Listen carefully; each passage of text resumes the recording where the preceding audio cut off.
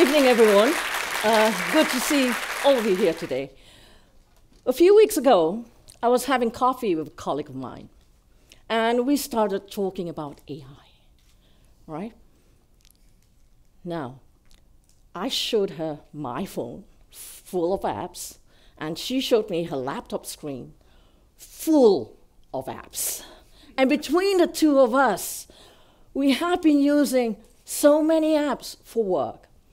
We've been talking to chatbots, generating ideas and content, designing lessons, materials, creating visuals, multimedia, and creating chatbots to personalize feedback, doing research, writing and revising almost mm, everything from emails to administrative papers. And we stopped. We looked at each other and we said, wow, AI can already do so much for language education and language educators like us. Now, this AI, ladies and gentlemen, is generative AI, as most of you know it, or Gen AI, right? Now, large language models trained on patterns and language training data gathered from how we think, how we write, how we speak, and how we communicate. Now, this AI can interact with human language and generate text that feels almost entirely human. Just the other day, I reprimanded AI because I was talking to it, right? I reprimanded it and said, hey, uh, you're not asking what I want, right? And guess what the bot said? Guess. ah, you're absolutely right. Uh, I should have asked. Uh, smiley face, sweat drop. Come on. Or, oh, my bad again. Right? So human. Now, this AI is learning from us every day. Every time we respond, we question, we interact with it, we feed its algorithms, and it gets better at mimicking how we think, how we speak, how we write, how we communicate. Now, as we watch AI grow, we need to ask ourselves a fundamental question. If AI can already do so much, what's left for us as educators? And students to do. Now, at first, the answer seems to be very obvious. Let's focus on what AI can't do. AI can't think critically, can't think creatively, it can't think empathetically. Right? But if we frame our conversation to what AI can do or what AI can't do, perhaps, perhaps we are limiting our purpose in language education to reacting to technology, to either outpace AI or catch up with it, or to collaborate with AI, as if AI and us humans are two things. But here's the thing, ladies and gentlemen AI reflects us. Shannon Vallor, a philosophy professor at the University of Edinburgh, describes AI as a mirror. Now, AI is based on human generated data and design principles. AI, according to Vallor, reflects human intelligence, what we think, how we behave, the societies and the systems we create. And AI, according to Vallor, doesn't only reflect us, it magnifies.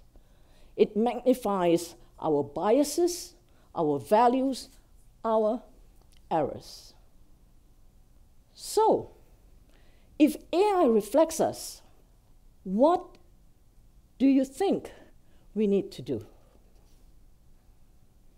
question to ask ourselves.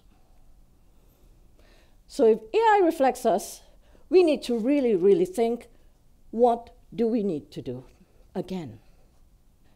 Now, when we see headlines like this, let's apply this idea to this uh, uh, uh, uh language education. When we see headlines like this, we often think, oh, AI is biased.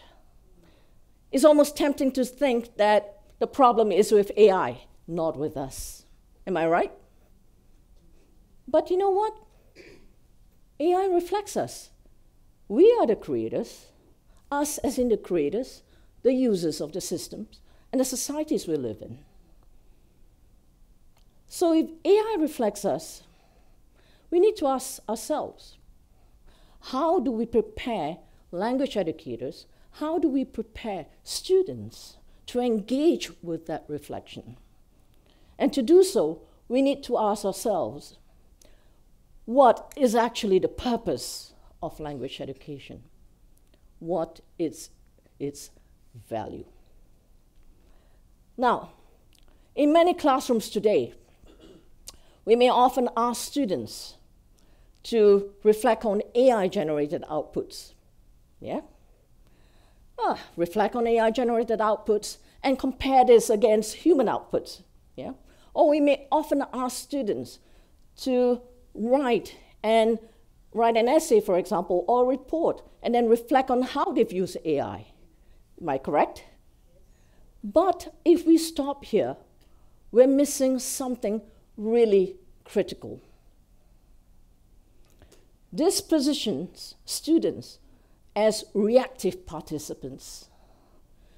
What do I mean by reactive? Reactive because all they need to do is to respond to AI to fix AI if it's not good, to follow AI if it's okay, right? And to adapt a given system.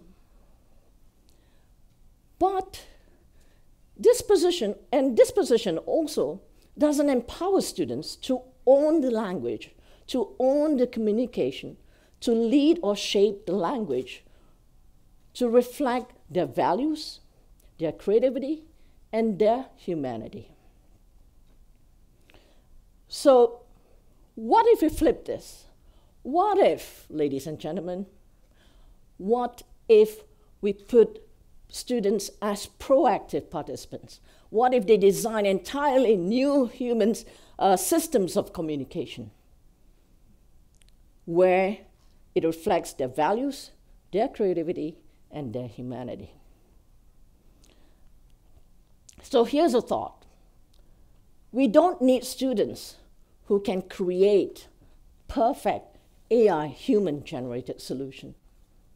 What we need is students who are able to navigate the messy, the dynamic, the complex human communication in real world contexts, contexts that require them to think critically, to uncover the biases and assumptions embedded in language to think creatively, to be able to adapt to ambiguity, uncertainties, and rapidly changing contexts of communication, to connect meaningfully, to build relationships across differences with empathy and cultural understanding.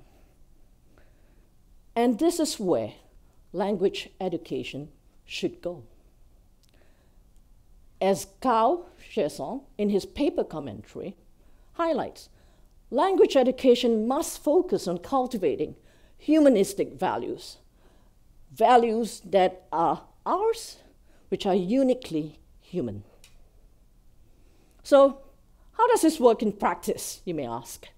Right, let's explore a crisis simulation in real time. Very popular topic, yeah? So, we'll start off with something ambiguous.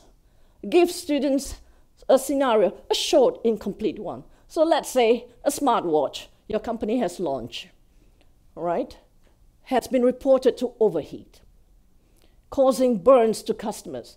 You don't know the full extent of the situation, and customers are worried, employees are concerned. Now, you get students to work in the role of a communication officers in a company, right? Three groups, all right? First group will draft a press release statement for the media. The second group will draft the memo for the employees. And the third will draft a social media post for the public, right? Now, each group holds piece of response. And these groups will learn that they need to work together to align their messaging. And they will realize that language is not about crafting sentences because AI can already do that, right? But language is about collaboration, language is about connection, language is about building trust, right? And just as you know, the students are getting very comfortable drafting the press release statements, all right, and ha, you throw a complexity. Yeah, you say, I, you introduce a change. And what's that change? Breaking news. A leaked email shows that leadership knew about the defect, but launch the product anyways. So now, what do the groups have to do? They have to get together, right? They have to do it under pressure, and they have to connect, collaborate as well, right? So the press release group, oh, now trying to draft statements, okay, and adjust their messaging, right? The employee memo group would have to then reassure and shift the tone, right, to reassure the employees. And the social media post, oh, they have to manage public outrage, right? And outline the next steps. Now, so here they will learn that language is not about crafting sentences again, but they will learn that language requires constant communication, constant feedback, constant compromise. And then you ask them to focus on reflection not reflecting on the language choices, but really reflecting on how they've used it to collaborate, to connect, to compromise. So let's take another example. Designing the future of communication. We often think AI is teaching us something, but now we teach AI. Yeah? So here's how it works. Ask students to identify a systemic communication challenge in their discipline. So, for example, how businesses can create, um, can create inclusive messaging across diverse audiences. And you get students to analyze the language, uh, look for real world communication examples, all right, analyze the AI generated outputs, okay, look for biases cultural in cultural assumptions, cultural biases, what's included, what's excluded, what's represented, what's misrepresented. And then you get them to really structure very detailed teaching oriented feedback to AI. You get them to feed that back to AI. And with all these insights, they will redesign the system. So, for example, they can redesign a business system that evaluates marketing campaigns for cultural relevance and inclusivity. And then you end up with a reflection. Now, as we've explored today, AI reflects us. And because AI reflects us, the responsibility of shaping AI and language education rests in our hands. This reminds me of the moment I had earlier with co- the colleague of mine. We were so amazed at what AI could do for us. And, but as I reflect on this moment, I realize something even more important. AI wasn't just helping us, it was learning from us. Every decision we made helped shape and reflect AI as it is today. And so, what do we do?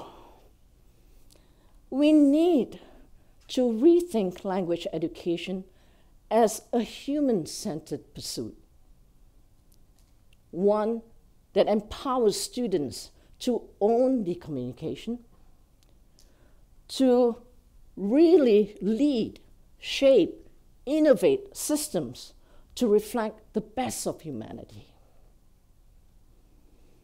We must shift our mindset from thinking of language education as a fixed system um, we're there only to react to AI's capabilities, to seeing language education as an opportunity to really cultivate this symbiotic relationship with AI, one that really enhances what we do,